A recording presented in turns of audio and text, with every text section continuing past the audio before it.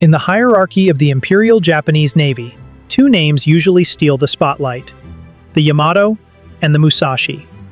They were the largest, most heavily armored monsters to ever sail the seas. But there was another ship, a ship with British blood in its veins, and 30 years of combat under its belt, that was far more dangerous. It was the Kongo.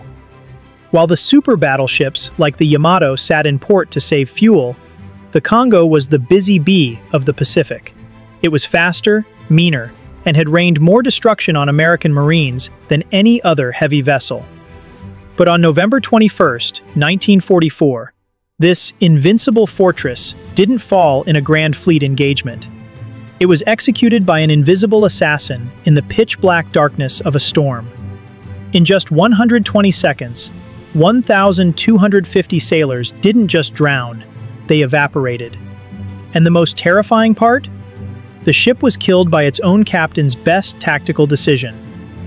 This is the story of the ramming effect, and the day a 30,000-ton giant drowned in its own speed. The Kongo was an anomaly.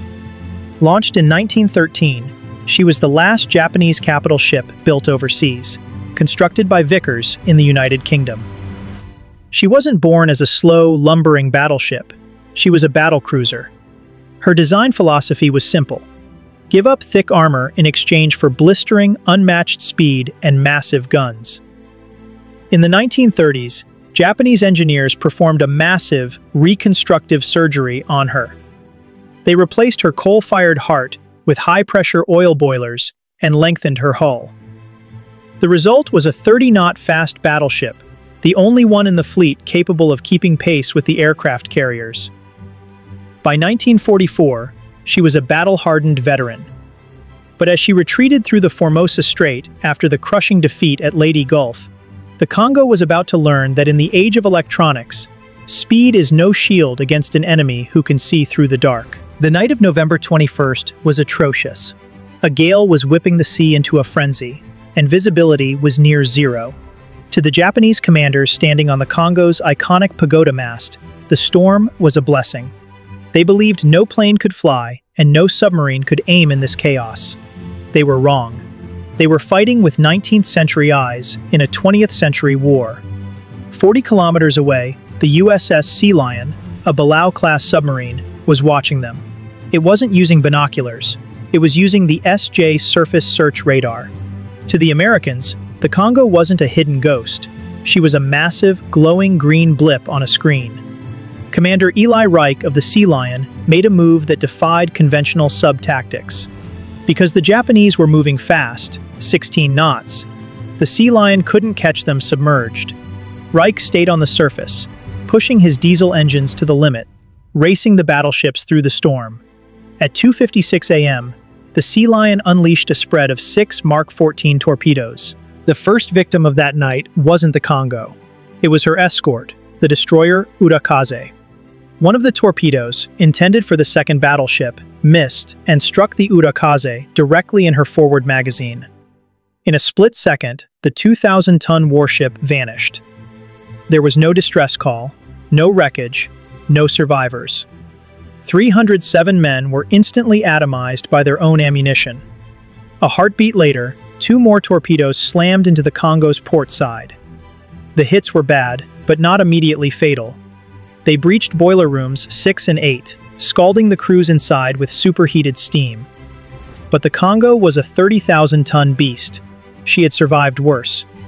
Captain Shimazaki, fearing the submarine was still out there, made a logical, tactical choice. Maintain 16 knots. Get us out of the kill zone. It was a decision that doomed every man on board. This is where the story shifts from a battle to a tragedy of fluid dynamics. When a ship has a massive hole in its side and it sits still, the water enters at a manageable rate. But when that ship moves forward at 16 knots, about 30 kilometers per hour, it creates what engineers call the ramming effect.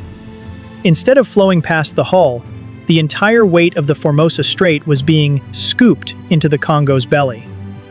At 16 knots, the hydraulic pressure against the internal bulkheads was equivalent to a sledgehammer hitting the steel every second.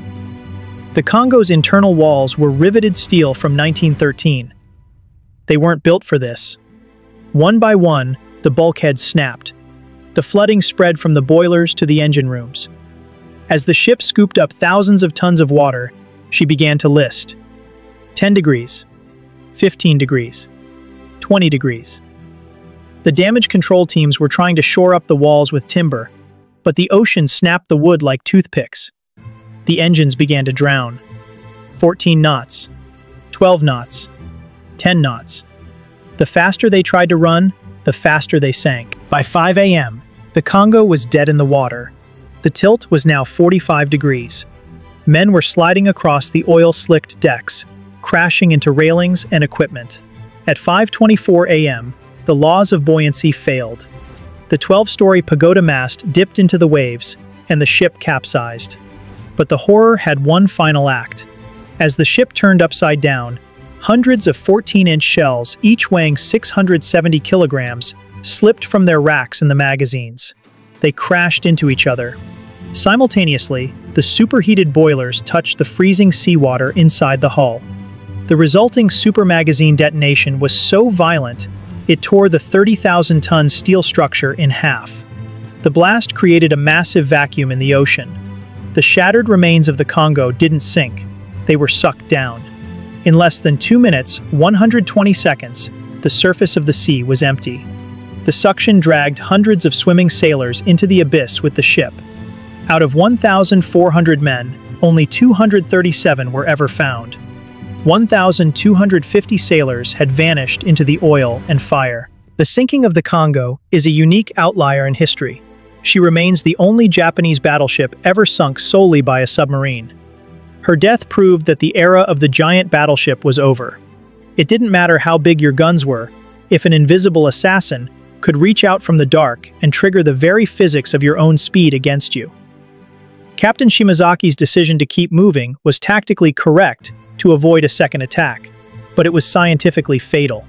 It transformed a survivable wound into a total catastrophe. Today, the Kongo lies upside down in the Formosa Strait, a steel tomb for 1,250 souls who disappeared in two frantic minutes. What do you think? In the heat of battle, with a submarine prowling in the dark, would you have stopped the ship to save it from flooding? Or would you have run like Shimazaki, let us know your tactical analysis in the comments. If you enjoyed this deep dive into the tragedies of naval history, hit that subscribe button and join us as we decode the files of the world's most incredible outliers.